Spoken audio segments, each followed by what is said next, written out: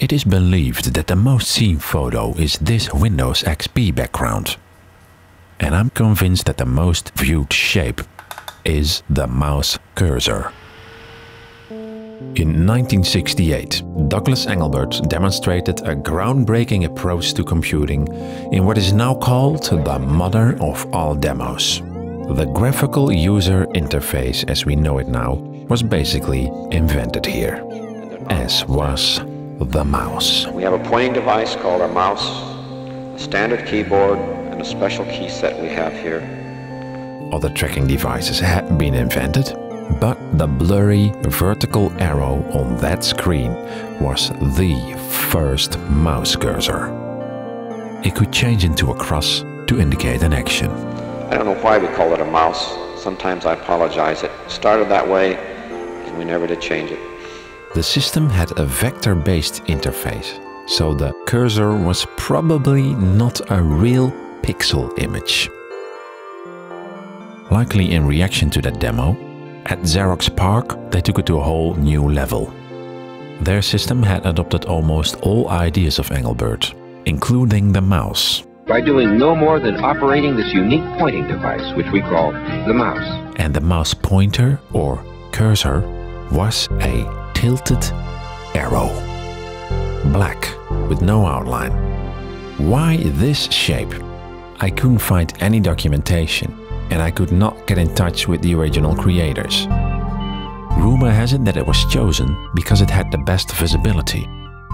And when you point at something with your right hand, it's at the same angle.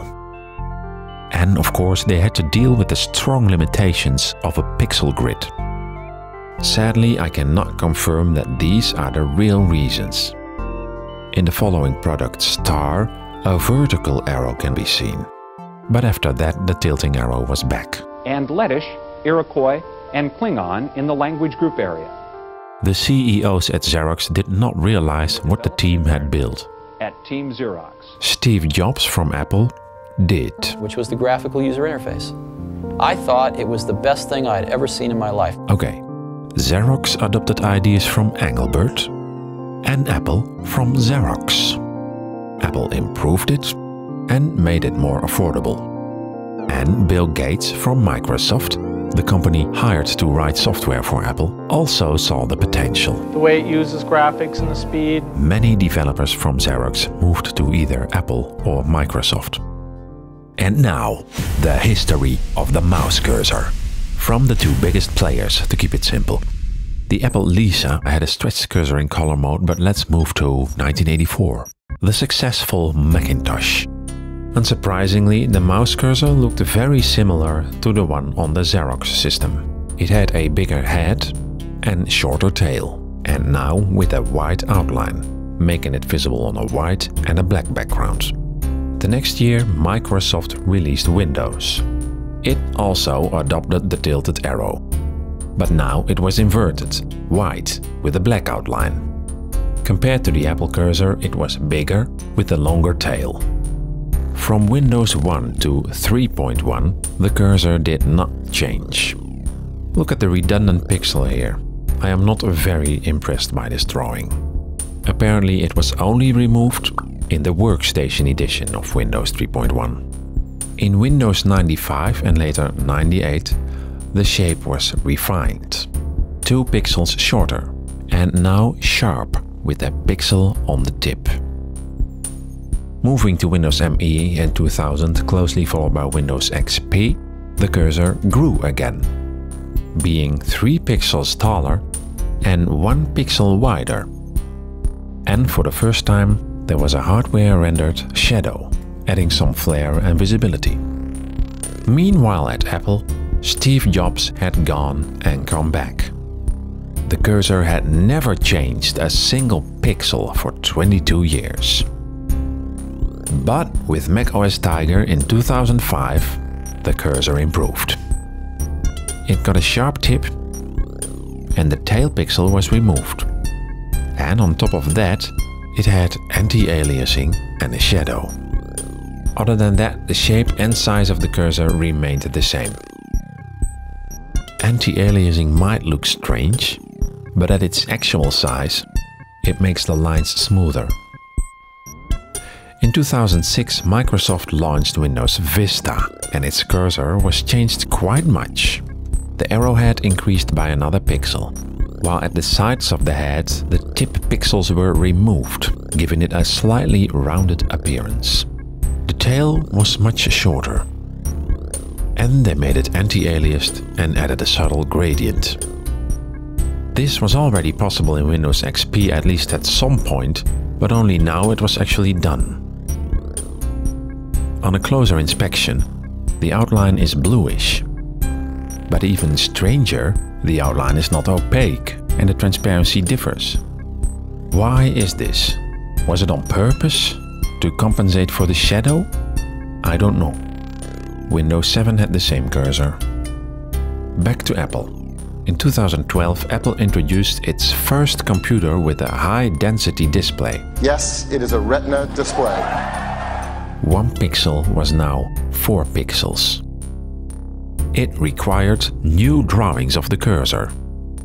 The shape of the cursor was no longer bound to visible pixels. But the shape of the Apple cursor did not change and probably never will again. Maybe they'll remove the shadow at some point. Around the same time Windows 8 was introduced, and in 2015 Windows 10. The shape remained the same, and the outline still had transparency. But the gradient was removed and the shadow was turned off by default. Which brings us to the point where I decided to design my own cursor. I've done that before in the late 90s for fun. But this time, I was simply annoyed. I used Windows for work and a while back got my first high-density 4K display, meaning a scaled interface. For this, Windows cursor files contain several sizes. And the problem with the scaled Windows cursor is that the outline remains one pixel, visually half the thickness. It doesn't rhyme and makes the cursor hard to see on a light background. And the shape is just off. In my opinion, a terrible design. Also, the hand and other cursors suffer from similar problems so I changed those too. More on that later. First, how do you change the cursor at all in Windows 10? Well, that's something I had to figure out too. I typed cursor to end up in an outrageously spaced tablet-style environment with text cursor options. Be sure to resize the window if there is no menu on the left.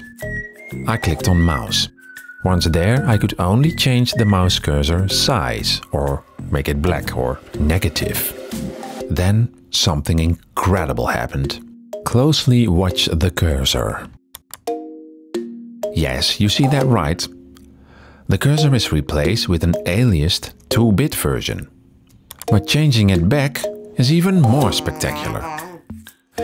Apparently, the designers of the tablet environment were not aware of the existence of the Windows default cursor and the ability to change it.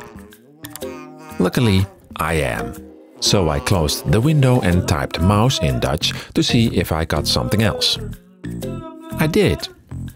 Again, I got mouse options, but all different. So there are two mouse option windows with the same name. Anyway, depending on the size of the window, either below in large text or on the right in small text is an unnecessary title with a link below Extra Mouse Options. Jumping out of the tablet-style environment in a window that for some reason always appears on the left top, I could finally change back to the Windows default cursor. Sorry. The easiest way is type themes and then click mouse cursor. Oh, Microsoft, what are you doing? When I started to design my high DPI cursor, I tried a different angle of the arrow. But this seemed impossible to get used to. Basically, any other shape was super weird. So I quickly decided that only people who haven't worked with a mouse before could maybe prefer a different shape as they haven't seen a cursor before. So the tilted arrow it was. I made the arrowhead even bigger in proportion and the tail shorter and slightly wider. To make it look even more modern, I rounded the tail end, something that's not really visible at the 100% scale. The design is a vector-based, so no pixels, but drawn by previewing the pixels in the high DPI scale. And the final result was done by redrawing pixels, making it pixel perfect. I then used the same vector for the other supported sizes. I hope that you agree that the 100% size also looks better than the Windows default. I also made one in black, and it looks like that I actually prefer to work with the black cursor. Time will tell. Then the hand cursor. The iconic hand was first seen in MacPaint. Later, a pointing hand was introduced in HyperCard. You use cards that contain graphics and text and buttons. That idea was adopted for the internet and became the unofficial standard, just like the arrow. This Windows 10 hand just looks wrong. My hand design actually started as a drawing on paper, then made the vector drawing and aligned it to pixels. I didn't even consider a different shape because this would only cause confusion. And of course the waiting icon, or throbber. That too was an inspirationless low frame rate blue circle, much less fancy than the Windows 7 one. Almost every waiting or activity icon these days is something spinning around. Perhaps because a timepiece may emphasize the waiting too much. And a complex shape is not in fashion. I'd like to reintroduce the hourglass, first seen on the Xerox system. I tried monochrome like the other cursors, but that was boring. So I did the opposite and used all colors of the rainbow instead. This way, it was still color neutral, but not boring. Now it was an abstract magical hourglass, or something to look at while waiting. I hope. But while designing that, I suddenly realized Apple had done that already. And then found out that this beach ball was actually designed in Next Step all the way back in 1990. Wow. Originally, it resembled a spinning magneto-optical disc. Apple did not steal it as Next was acquired by Apple in 1997, including Steve Jobs. I also changed the I-beam, or text selection cursor. The Windows 10 high DPI version looks like blown up pixels.